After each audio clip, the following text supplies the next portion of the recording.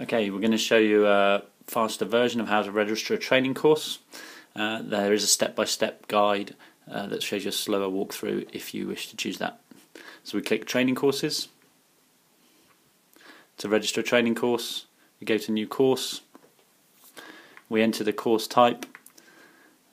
From a number of qualifications, I'm going to select test qualification. We select a start date, I'm going to select today a payment deadline date, I'm also going to choose today, but it has to be within two days of the course start date. A proposed assessment date, you can change the date. I'm going to select tomorrow.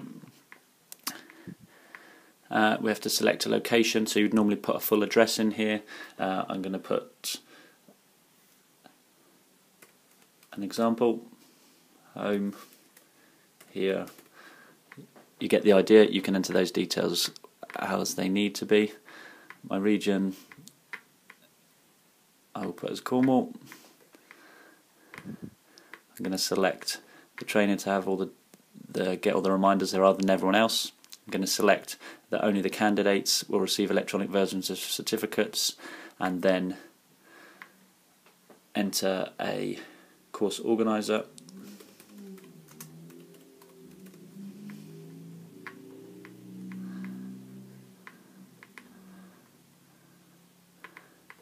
Then enter a trainer again by clicking the lookup.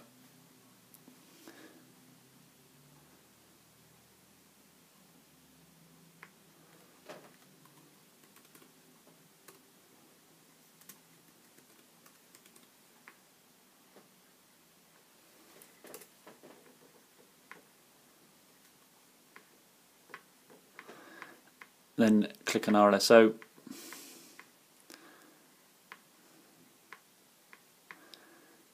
set a maximum number of candidates and a minimum.